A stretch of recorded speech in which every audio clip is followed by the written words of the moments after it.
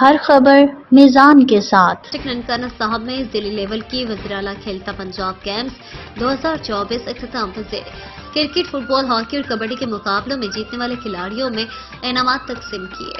Badminton اور athletics کے کھلاڑیوں میں بھی انعامات تقسیم کیے۔ ڈپٹی کمشنر ننکانہ صاحب محمد تسلیم اختر راؤ تقسیم انعامات کی تقریب کے مہمان خصوصی تھے۔ ڈپٹی کمشنر نے ڈسٹرکٹ لیول کے مقابلوں میں جیتنے والی اور رنر اپ ٹیموں میں انعامات تقسیم کیے۔ A C Nankana Wajiha Samreen district sports officer Azhar Mahmood اور دیگر کی شرکت۔ پنجاب گیمز میں کھلاڑیوں نے شاندار کارکردگی کا مظاہرہ کیا ہے۔